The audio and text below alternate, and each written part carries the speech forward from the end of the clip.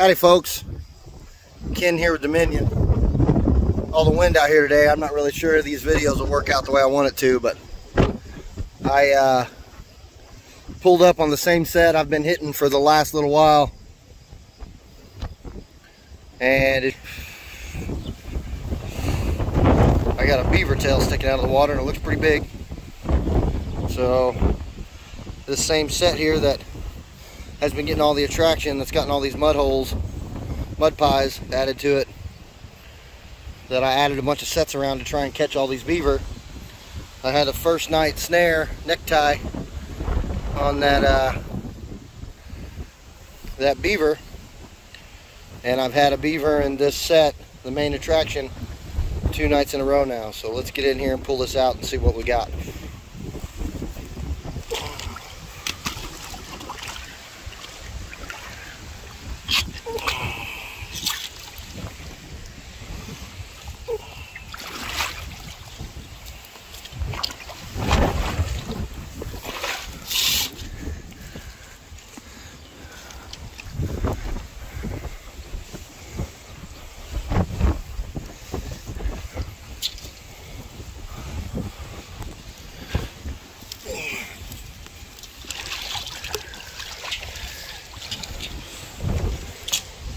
Here's another decent sized one.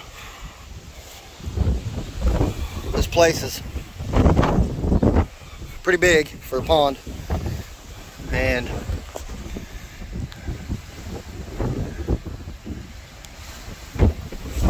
we've been doing really good in here, so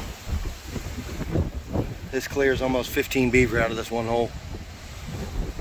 So we'll keep it up I'll get back at you guys if I have anything else today.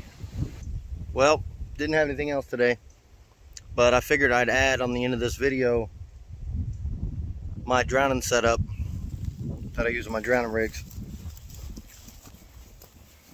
I've been using a lot of these KO Beaver Extremes, and I've got a half a dozen Montana number fives. You can see the difference here in the base plating and that really affects how your catch is. So I'm going to base plate these Montana number five instead of having catches stuck all the way up here. There's no pan tension on these and these are pretty pretty rough here. So it's full commitment here a lot of times. But I catch a lot of good animals in here with full commitment. But I catch toes in these from time to time that I don't catch here.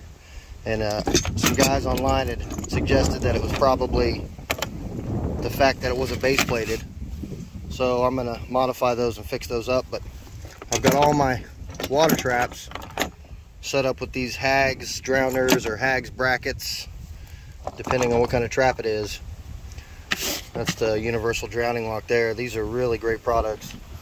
And if you guys are interested in having a quick drowning setup that is easy to maneuver with and deal with, then that's the best way to go.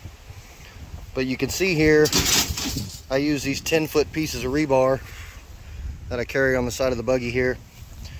And I've had different types of locks that I've put on these in the past. But I just recently moved to welding two little links of American number two chain to the end of it. You could probably do just as easily get away with one, but I like having them both on there. and you can take the Hags bracket that's on the end of your trap here and thread it over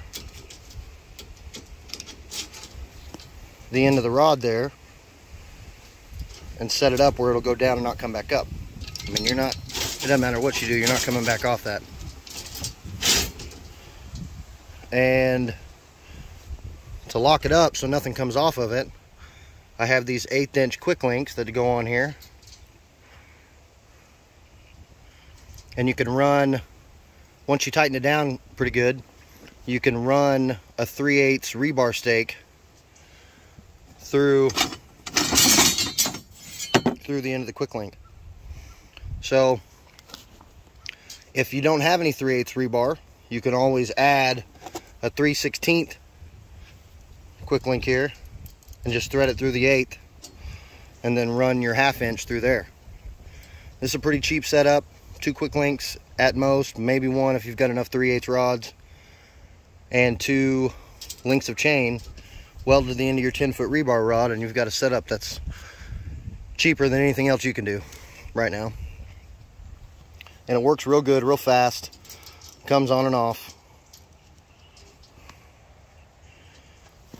Like I said, these Hags brackets here, these Hags universal locks, they'll work for half inch rebar or 3 8 rebar or 1 8 wire and then your number 9, 11, 14, whatever kind of wire you use if you're using sandbags or anything like that. So that is the killer setup. That's what I'm catching all these beaver on right there. And it works out pretty good. The other end of them, you either have a washer or a nut in some cases. I prefer at least 10 inches from the end of the rod, but a little higher than that's okay too.